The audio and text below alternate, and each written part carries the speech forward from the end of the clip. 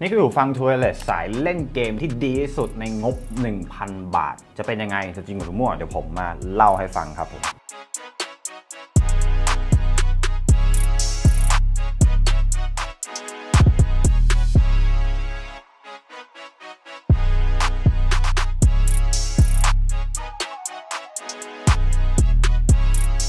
สวัสดีครับ ผมกุ๊กจาก 425 Audio ครับ วันนี้ผมจะมารีวิวหูฟังสาย gaming ในงบ 1,000 บาทที่ผมคิดว่าดีที่สุดนะครับ นั่นคือ Havit TW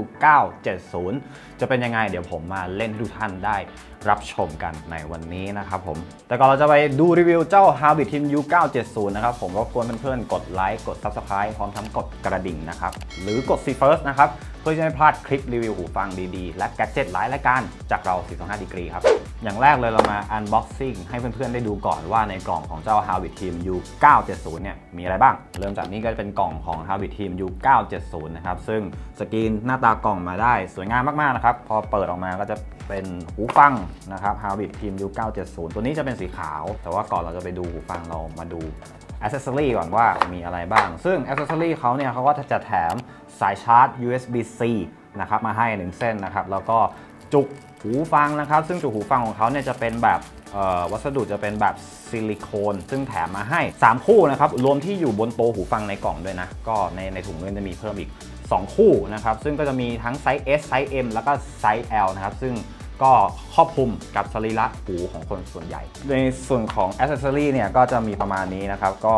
ก็มีหูคู่มือการใช้งานมาให้ด้วยนะครับ ถ้าเกิดว่าใครไม่สะดวกดูในนี้ ไปดูหน้าเว็บได้นะครับ เพราะหน้าเว็บของเราเนี่ยมีวิธีการใช้งานเป็นภาษาไทย ให้ทุกท่านได้อ่าน เรามาดูดีไซน์ของเจ้า Havit TW 970 กันนะครับ ก็คือดีไซน์ของเขาเนี่ยก็จะมาแบบสไตล์ gaming เลยนะครับ คือคือแบบมีฟงมีไฟ RGB นะครับ ข้างหน้าก็จะมีโลโก้สกรีนนะครับ สกรีนลงเนื้อนะครับ เนื้อพลาสติก แล้วก็ด้านหลังก็จะมี ปุ่มสำหรับกดค้างไว้เพื่อรีเซ็ตหูฟังในกรณีที่หูฟังนะทำงานผิดปกติหรือว่า error นั่นเองพอเปิดออกมานี่ก็คือหูฟังของเจ้า Havit TW 970นะครับซึ่งหูฟังของเขาเนี่ยก็จะมีไฟ RGB นะครับเป็นหูแบบว่าสไตล์ gaming เลย เพื่อนๆ บางคนเนี่ยอาจจะไม่ชอบไฟของหูฟังอะไรเงี้ยก็เลยแบบเกิดความสงสัยว่าเฮ้ยถ้าเกิดไม่ชอบไฟเนี่ยปิดได้ไหม ปิดได้ครับ เพื่อนๆสามารถที่จะแตะ 4 ครั้งนะครับ 1 2 3 4นะครับแล้วไฟ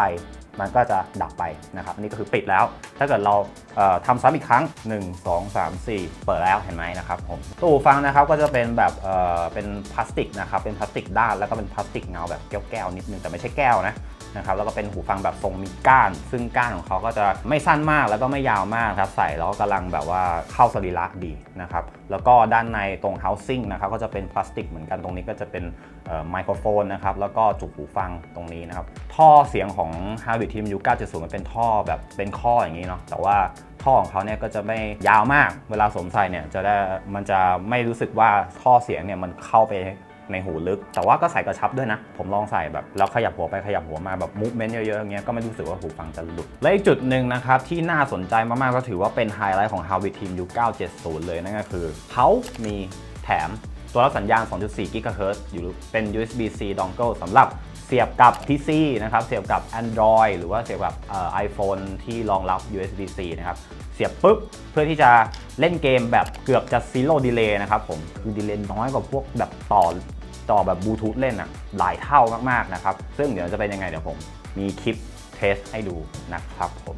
ซึ่งในส่วนของดีไซน์ของ Havit Team U 970 ก็จะเป็นประมาณนี้นะครับ มีกล่องชาร์จ มีตัวหูฟังสองข้างนะครับ แล้วก็มี USB dongle ตัวสัญญาณ 2.4 GHz สำหรับเสียบกับเกมคอนโซลหรือว่าอุปกรณ์เครื่องเล่นเกมที่รองรับนะครับ และอีกอย่างหนึ่งเป็นแม่เหล็กด้วยนะครับ ก็สำหรับเจ้า Havit Team U 970 นะครับ มีมาให้เลือก 2 สีเนาะ นี่ก็คือสีขาวตัวนี้นะครับ ซึ่งสีขาวสวยมาก ถ้าเกิดใครมี p 5เนี่ยไปวางคู่กันเนี่ยเข้ากับ p 5สีของ p 5มาก ๆ เลยนะครับ แล้วก็มีสีดำนะสีดำก็จะหน้าตาแบบนี้นะครับผมลำดับต่อไปนะครับ เดี๋ยวเราจะไปดูสเปคกันบ้างนะครับ ของเจ้า Havit TW 970 ว่ามีอะไรน่าสนใจบ้างไปดูเลยครับ มาถึงช่วงสเปคของเจ้า Havit TW 970 กันแล้วนะครับ ว่ามีอะไรน่าสนใจบ้างนะครับ ฮาวิทีมันอยู่ 970 นะครับ เชื่อมต่อด้วยบลูทูธ 5.3 นะครับ มาพร้อมกับ driver แบบ dynamic ขนาด 12 มิลลิเมตรนะครับ ติดไมค์มาข้างละ2ตัวนะครับสำหรับใช้คุยโทรศัพท์ มีระบบตัดเสียงรอบข้างนะครับ แบบ ENC นะครับ มาพร้อมกับ USB-C dongle นะครับสำหรับเสียบกับ Gaming Console นะครับ หรือว่าพวก PC Android สำหรับใช้เล่นเกมแบบไร้ delay เลย เจ้า Havit TW 970 เนี่ยสามารถใช้งานต่อเนื่องได้สูงสุด 5 ชั่วโมงต่อรอบนะครับ แล้วก็รวมกล่องชาร์จเนี่ยก็จะอยู่ที่ประมาณ 27 ชั่วโมง ส่วนพอร์ตชาร์จของเขาจะเป็นแบบ USB-C สเปคของเจ้า Havit TW 970 ก็จะประมาณนี้นะครับ เดี๋ยวต่อไปผมจะมาเล่าให้ฟังว่าผมประทับใจอะไรในตัวนี้นะครับ เจ้า Harvey Team U 970 เล่นเกมดีขนาดไหนมีอะไรน่าสนใจเดี๋ยวไปดูกันเลย มาถึงช่วงประสบการณ์การใช้งานของผมกับเจ้า Harvey TW 970 กันแล้วนะครับว่าผมประทับใจอะไรมันบ้าง อย่างแรกเลยเรื่องดีไซน์ส่วนตัวเนี่ยผมเป็นคนที่แบบไม่ค่อยชอบอหูฟังที่มีไฟเท่าไหร่ แต่ว่ายังดีที่ Harvey Team U 970 เนี่ยเขาทำมาให้มันติดไฟได้ ซึ่งอย่างที่ผมบอกแตะ4ครั้ง มันก็ไฟมันก็จะปิด ถ้าเกิดใครแบบเป็นวัยทำงานอะเนาะแบบว่าถ้าเกิดใส่หูฟังมีไฟออกไปข้างนอกอะไรเงี้ยแบบเอาไปใช้งานแบบใส่ฟังเพลงทั่วไปขณะเดินทางเนี้ยอาจจะมีแบบเฮ้ยไฟมันติดเนี้ยอาจจะแบบมีความเคอะเขินนิดนึง แล้วก็เป็นหูฟังที่น้ำหนักเบา แล้วก็เท่าที่ใส่มาใส่แบบใช้งานในแต่ละวันนอกจากเรื่องเล่นเกมนะแบบใส่ทำงานทั่วไปอะไรเงี้ยตัวตัวหูฟังเนี่ยมีน้ำหนักที่เบา แล้วมี fitting ในการสวมใส่ที่สบายมากๆนะครับเดี๋ยวผมใส่ให้ดู ซึ่งความรู้สึกในการใส่เนี่ยของผมเนี่ยผมไม่รู้สึกว่าไอ้ท่อหูฟังหรือว่าจุกหูฟังมันเข้าไปในหูลึกมันจะแบบไม่อึดอัดแล้วก็ มีความกระชับที่แบบพอดีประมาณนี้ครับผมก็คือถือว่าเป็นหูฟังตัวหนึ่งที่ใส่สบายมาก ๆ ตัวหนึ่งเลย ในส่วนของเรื่องการเชื่อมต่อนะครับ เจ้า Harvey Team U 970เนี่ยสามารถเชื่อมต่อได้ 2 แบบนะ แบบบลูทูธนะครับสำหรับต่อโทรศัพท์ใส่ฟังเพลงทั่วไปนะครับ แล้วก็แบบที่ 2 ก็คือแบบเสียบ USB-C dongle นะครับ ถ้าเกิดว่าโทรศัพท์เพื่อนๆรองรับก็สามารถที่จะเสียบใช้งานได้ ในการใช้งานของผมเนี่ยผมใช้งานแบบต่อบลูทูธเนี่ยก็ถามว่ามีเจอสัญญาณกระตุกไหมก็เป็นปกติของหูฟังทูไวเลสเลยครับก็คือแบบมีเจอบ้างบนบนตามรถไฟฟ้าอะไรเงี้ยหรือว่าตามที่แบบเออในเขตชุมชนที่แบบมีคนเยอะๆ คนพลุกพล่านเยอะๆอะไรเงี้ยซึ่งก็เป็นปกติแต่ไม่ได้เจอบ่อยนะครับคือแบบนานๆเจอทีแบบกึกนึงอะไรเงี้ยแต่ว่าที่เหลือก็ใช้งานได้ต่อเนื่องดี ส่วนการใช้งานแบบ USB-C dongle นะครับแบบเสียบกับ Nintendo Switch เวลาเอาไว้เล่นเกมใส่หูฟังขณะเดินทางนี่ก็ไม่พบสัญญาณกระตุกเลยนะครับสัญญาณเสถียรดีมากๆนะครับแล้วก็การเล่นเกมก็ไม่ดีเลยประมาณนี้ นะครับในส่วนของการเชื่อมต่อก็คือเป็นหูฟังที่เชื่อมต่อเนี่ยได้มาตรฐานนะครับแล้วก็มีเสถียรภาพมากนะครับทั้งแบบใช้งานแบบต่อบลูทูธและต่อ USB-C dongle อ๋อผมลืมบอกไป คือเจ้า Harvey TMU 970 เนี่ยมันเชื่อมต่อได้ 2 แบบใช่ไหมเพื่อนๆหลายคนอาจจะสงสัยว่าเฮ้ยถ้าเกิดว่าเสียบ dongle ไว้ที่ P5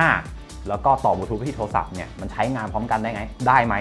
ตอบเลยว่าใช้งานได้นะครับแต่ว่า หูฟังเนี่ยมันจะรับเสียงจาก USB-C dongle ก่อน ถ้าเกิดสมมุติว่าเราเล่นเกมอยู่อย่างเงี้ยแล้วมีสายโทรเข้ามาที่โทรศัพท์เรา เราสามารถกดรับสายที่โทรศัพท์นะครับแล้วก็หูฟังเนี่ยมันจะเปลี่ยนจากรับเสียงจากเครื่อง P5 สลับมาคุยโทรศัพท์ได้เลยนะครับแล้วก็พอคุยโทรศัพท์เสร็จปุ๊บเสียงมันก็จะตัดสลับไปที่ P5 ซึ่งดีมากๆนะครับสำหรับคนที่แบบอยากเล่นเกมคอนโซลทั่วไปอะไรเงี้ยแล้วแบบอยากสแตนบายรับสายที่โทรศัพท์ไว้ด้วยพร้อมๆ กันเนี่ยซึ่งอันนี้ข้อดีสะดวกมากๆครับผมมาถึงเรื่องการคุยโทรศัพท์เพื่อนๆหลายท่านอาจจะงงว่า Harvey TMU 970 เนี่ยไม่คุยชัดไหม ถ้าเกิดว่าเอาไปใส่คุยโทรศัพท์ทั่วไปอะไรอย่างเงี้ยเท่าที่ผมได้ทดสอบใช้งานมาเนี่ยไมค์คุยโทรศัพท์ดีมากๆเลยนะครับ ไม่ว่าจะคุยใน indoor ที่ไม่มีเสียงรบกวนเยอะ หรือว่าเอาไปคุยที่แบบริมถนนใหญ่ที่มีเสียง noise แบบว่าโวกเวกโวยวายแบบก็ Havit TW 970 เนี่ยก็ให้เสียงไมค์ที่คมชัดปลายสายเนี่ย ฟังเสียงเราได้ถนัดมากๆ แล้วก็ปลายสายแทบจะไม่ได้ยินเสียงรบกวนรอบข้างที่เรายืนคุยอยู่เลย เช่นเดียวกับการใช้งานต่อแบบ dongle นะครับเข้ากับพีสมมติว่า PC ต่อ PC หรือว่าต่อ PS5 อะไรเงี้ย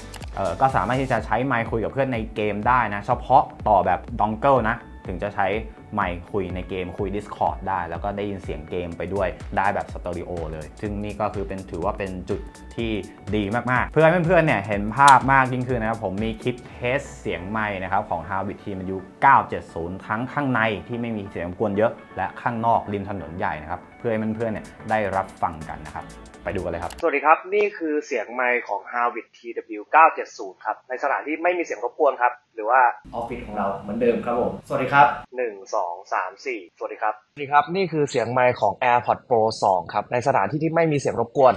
ก็ออฟฟิศเหมือนเดิมครับ สวัสดีครับ 1 2 3 4 สวัสดีครับ สวัสดีครับ นี่คือเสียงไมค์ของ Harvard TW 970ในสถานที่ที่มีเสียงรบกวนครับเช่นเดิม สวัสดีครับ 1 2 3 4 สวัสดีครับ สวัสดีครับ นี่คือเสียงไมค์ของ AirPods Pro 2 ครับ ในสถานที่สวัสดีครับ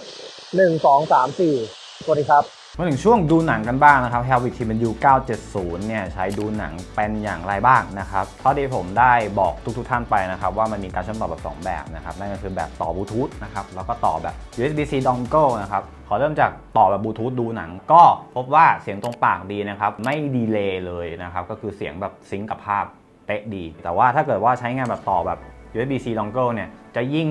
เห็นความต่างนิดๆว่าเสียงมันตรงกว่า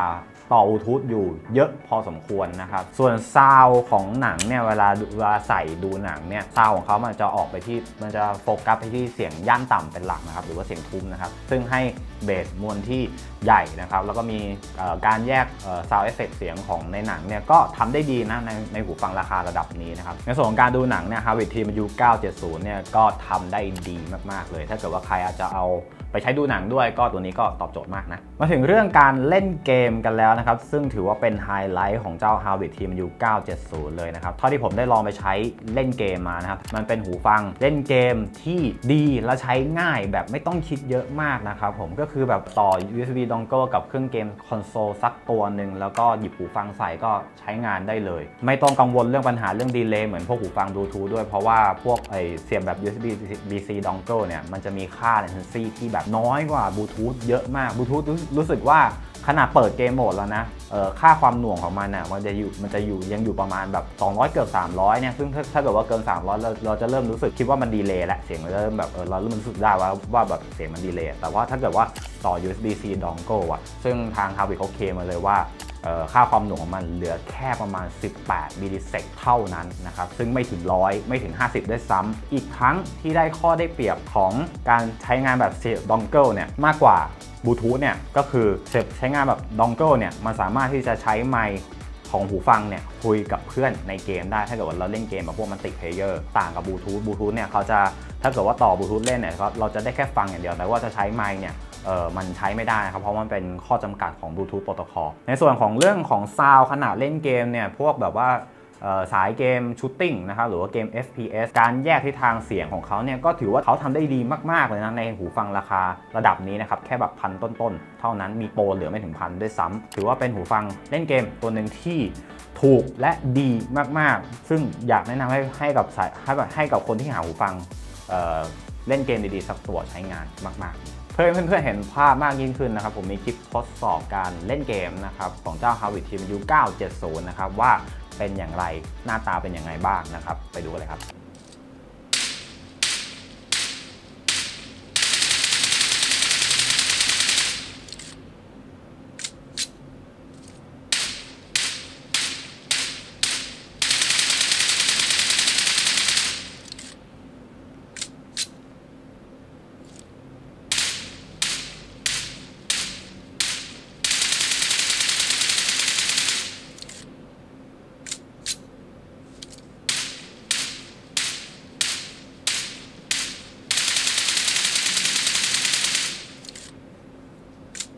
มาถึงช่วงคุณภาพเสียงของเจ้า Harvard TMU 970 กันบ้างว่าเสียงเป็นอย่างไรบ้างขณะตอนใช้ฟังเพลงนะ ต้องบอกเลยว่าโทนเสียงของ Harvard TMU 970 เนี่ยเขาจะเด่นไปทางเบส เป็นหลักนะครับก็คือเป็นเบสที่แบบว่ามวลแบบมวลขนาดใหญ่มี Impact กำลังดีนะครับถึงมีถึงมีมวลใหญ่เนี่ยแต่ว่าเป็นเบสที่ไม่วมเบอร์นะครับเป็นเบสที่ค่อนข้างเก็บตัวได้กระชับดี ในส่วนของเสียงเสียงกลางก็ให้มาในระดับกลางๆนะครับก็คือแต่ว่ายังได้เสียงร้องและเสียงกีตาร์ที่ยังฟังชัด แล้วก็ดูมีรายละเอียดนะครับในขณะที่เสียงแหลมนะครับเสียงแหลมของเขาจะไม่ได้ออกแนวคมใสแบบคมขึ้นขอบมันจะออก แนวๆ แบบนุ่มๆ มากกว่า แต่ว่ายังมีรายละเอียดในช่วงของ high frequency เนี่ยยังชัดเจนอยู่ เท่าที่ผมได้ลอง